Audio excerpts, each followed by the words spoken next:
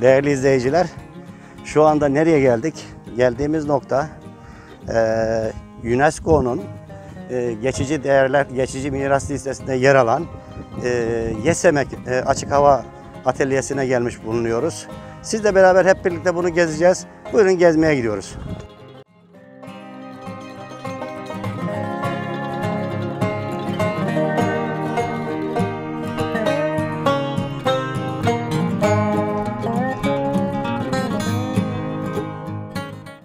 GESEM'e açık hava müzesine gelirken bunu kayda düşmemiz gerekiyor pandemi dolayısıyla. Koronavirüs tedbirleri de en üst düzeyde alınmış vaziyette. Bunun için görevlilere ayrıca teşekkür ediyoruz. Sosyal mesafe ayarlanmış. Bu şekilde müzeyi gezmeye başlıyoruz arkadaşlar. Buyurun.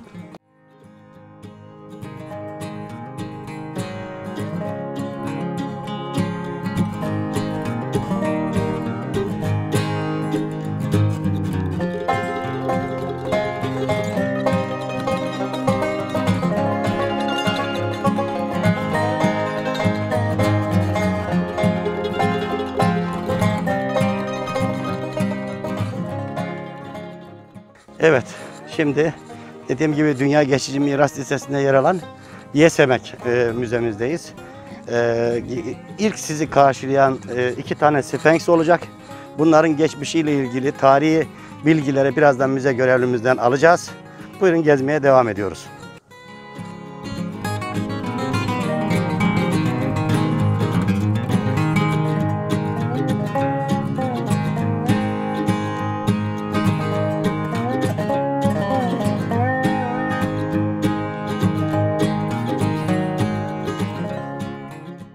Sevgili izleyiciler, e, 100 dönüm alan üzerinde kurulu olan Yesemek Açık Hava Müzesi, içerisinde mevcutta bazalt taşlardan oluşan 518 adet eser bulunuyor.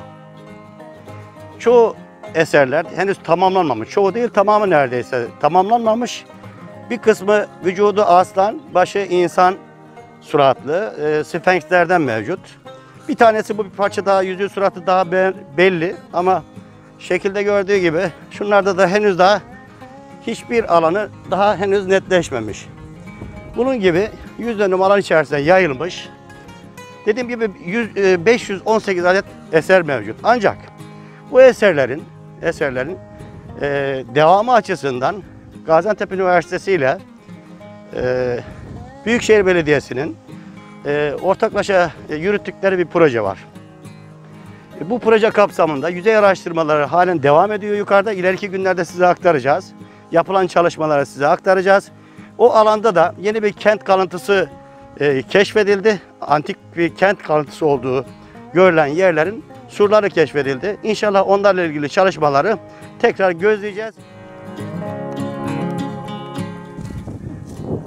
Sevgili izleyiciler, şu anda geldiğimiz e, figür Ayı Adam figürü.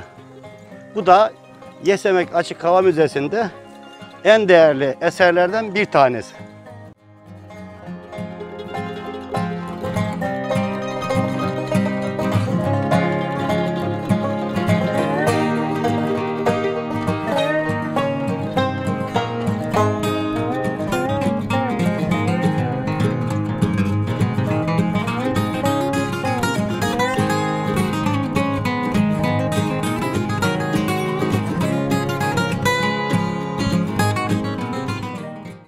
Yesemek Açık Hava Müzesi'nde müze görevlimiz Ali abimizle e, buradaki müze hakkında kısa bilgiler alacağız. Ali abi bize anlatır mısın kısaca müze hakkında bilgiyi? Ali Çiçek, Yesemek Açık Hava Müze görevlisiyim. Yesemek köyümüzün adı Açık Hava Heykel Atölyesi Geçitlik dönemine ait. 4000 yıl önce yapılmış olan eserlerdir.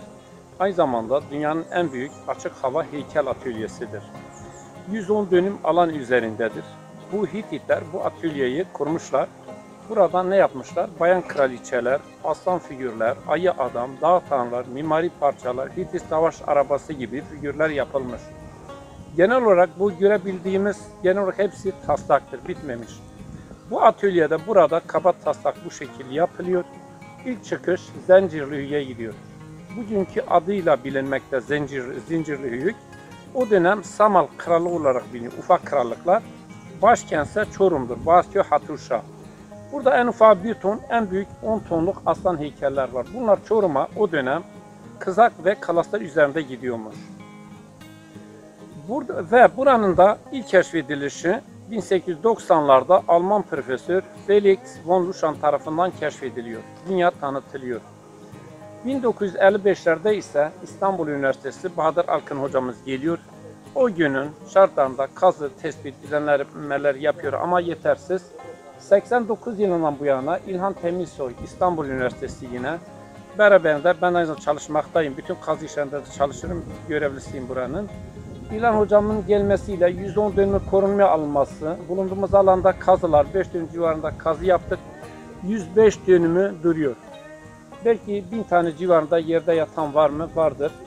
İşte İlhan hocamın gelmesiyle kazılar, 110 dönüm korunmaya alınması, köprü, yol, giriş, parkı vesaire buralarda ön plan çıkaran hocamız İlhan Temizsoy oldu. Evet, taşın cinsi ise bazalttır. Bu Hititler aynı zamanda zengin taş ocağını keşfediyorlar. Taşın işlenmeye müsait oluşundan dolayı bu atölyeyi kurdukları bilinmekte. Bakın 4 yıl önce yapılmış olan bir bayan kraliçedir. Bir çatlak, kırık, dökülme göremezsiniz.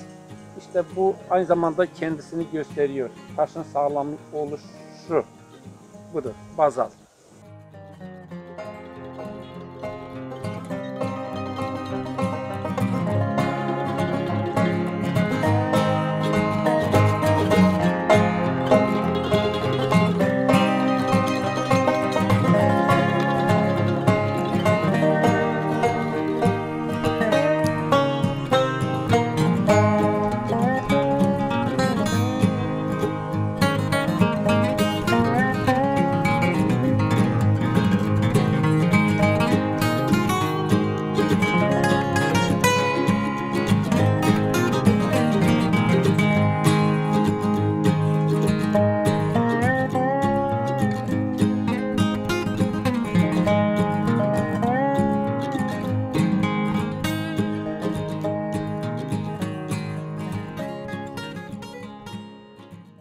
Yeni araştırmalar, yüzey araştırmaları yapan hocamız der ki bu onu çürütecek mahiyette olduğunu söyler. Yapılan oradaki yüzey araştırmalarında bayağı bir geniş bir alanda daha kent kalıntısı bulunduğu söyleniyor. Dolayısıyla oradaki çalışmalar belki tarihin seyrini değiştirecek bir e, çalışma. Önümüzdeki günlerde bununla ilgili açıklamalar da yapılacak. Burada yani çalışma başlayacak mı? Başladı zaten şu an. İzleyicilerimize de e, yeni müjdemizi de verelim. Önümüzdeki günlerde burayla ve yani İsrail Yesemek'le ilgili ve e, diğer taraftan e, Tilmenhöyük'te e, ödeneklerin çıktığı dolayısıyla buralarda yapılacak çalışmayla yeni çevre düzenlemesi ve eserlerin altında e, tarihi bilgi notu düşülen e, yazıların, tabelaların bulunduğu e, bir çalışma yapılacak. O da e, buranın YSM'ye ayrı bir değer katacağını, tanıtımına fayda sağlayacağı söyleniyor. Çevre düzenlemesiyle beraber değer katmasını ilk defa sağlayan Fikret Öztürk, Nurten Öztürk. Buradan da onlara ayrıca teşekkür ediyoruz. Çünkü buraya değer katan şeyler e, çalışmaların başlangıcında ışığını onlar yaktılar.